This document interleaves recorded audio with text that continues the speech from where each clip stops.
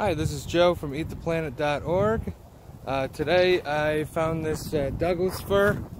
Just wanted to show you how to identify Douglas fir. The other things you might get it confused with is spruce and fir and potentially a hemlock. Uh, when you're identifying these evergreens, you always want to go right close to the needles and that's where you'll see the differences. So Douglas fir has long, flat needles.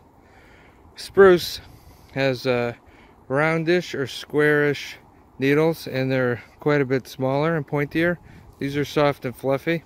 And you can kind of tell by the uh, looking at the tree that the foliage is looser and softer than a spruce tree. The other thing to look at on the needles is the connection points.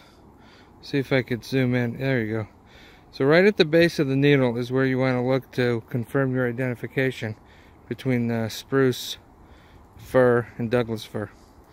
Uh, the Douglas fir has a thin connection between the needle and the branch. It's green, it's a thin green connection, which you could see on a, on a couple of needles here.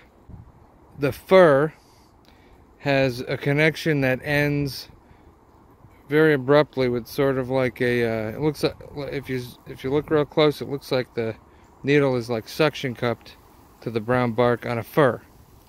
Not a Douglas fir. Douglas fir is a completely different genus.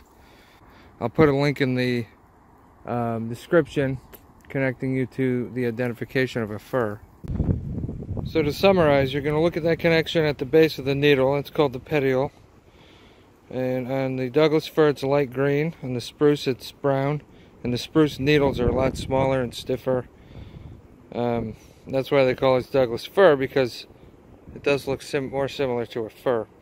Um, with the fir the main difference is you're going to have more of an abrupt connecting point between the brown twig and the green uh, needle so hopefully that helped you to identify Douglas fir versus spruce and fir.